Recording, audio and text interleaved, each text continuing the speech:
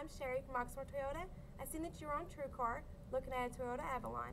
You could give me a call at 502-214-7085 and I'd give you a little bit more information on that vehicle or any other ones that you'd like to look at. Have a nice afternoon. Thank you.